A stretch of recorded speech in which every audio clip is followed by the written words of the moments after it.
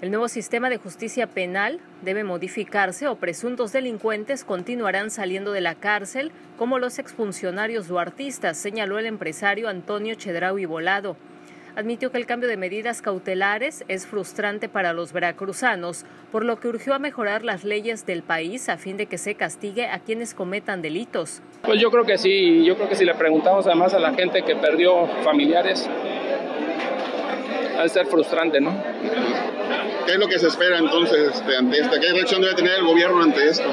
Pues, no, mira, no, te puedo decir nada porque son temas legales y yo no soy abogado, pero sí yo creo que cuando hablamos de que no haya corrupción, si no arreglamos el sistema legal para que no haya corrupción, pues va a seguir habiendo corrupción. ¿no? Puntualizó que por vacíos o beneficios los delincuentes quedan libres y hay inconformidad por parte de la sociedad.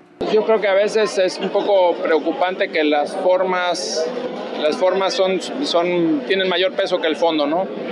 Este, a veces por cuestiones de forma sale gente, y no hablo por ellos, hablo en general, hay muchos delincuentes en el país que están fuera por cuestiones legales y no por realmente el delito que, que cometieron. Entonces yo creo que ojalá podamos corregir el sistema legal para que la forma sea importante, pero no se desatienda el fondo de un problema. Insistió en que se debe mejorar la impartición de justicia en el país. Para Imagen del Golfo, Laura Morales.